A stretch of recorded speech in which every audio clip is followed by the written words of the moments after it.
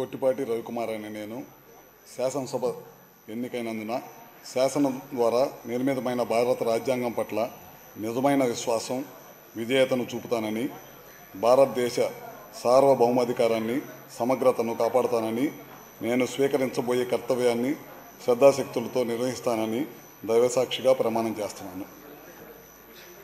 ఆంధ్రప్రదేశ్ శాసనసభ్యుడైన అనే నేను సమనియమాలను కట్టుబడి ఉంటానని వాటిని అనుసరిస్తానని సభా మర్యాదలను పాటిస్తానని సాంప్రదాయాన్ని గౌరవిస్తానని దైవసాక్షిగా ప్రమాణం చేస్తున్నాను.